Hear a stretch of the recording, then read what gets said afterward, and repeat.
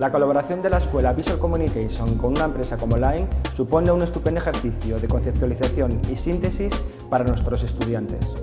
El proyecto se inserta dentro de la dinámica habitual de nuestra escuela, que apuesta desde sus inicios por el desarrollo de experiencias reales en colaboración con empresas, como una oportunidad de profesionalizar el aprendizaje, dar visibilidad al trabajo de nuestros alumnos y exalumnos y hacerles partícipes de proyectos de gran dimensión y alcance. El trabajo conjunto de las escuelas de Visual Communication de IDE España y Line viene a ser parte de un proyecto mayor para promover jóvenes artistas con talento para promover sus trabajos dentro del Line Creators Markets, que es una plataforma que permite a cualquier usuario de Line registrar y vender sus stickers a nivel mundial. Decidí diseñar stickers para Line porque era una muy buena forma de que usuarios de todo el mundo pudieran, utilizar mis stickers y porque también me parecía una forma muy divertida de, poder compartir esos diseños con mi familia y con, y con mis amigos y, tener conversaciones diarias con, con, ellos.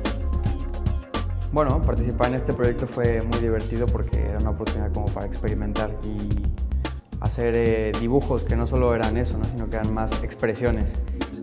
Es un reto el poder pensar en un usuario en concreto de un cierto perfil y que puedas eh, pillar esas palabras que ellos van a estar usando. ¿no? Para mis personajes em, me he inspirado en, en, los dibujos animados antiguos y los cómics. Eh, trabajando para Line ha sido una experiencia interesante y divertida y me ha ayudado a salir de mi zona de confort pues creo que el mejor consejo que se les podría dar a los ilustradores y diseñadores que empiezan es que trabajen muchísimo para conseguir su estilo, para conseguir algo con lo que se identifican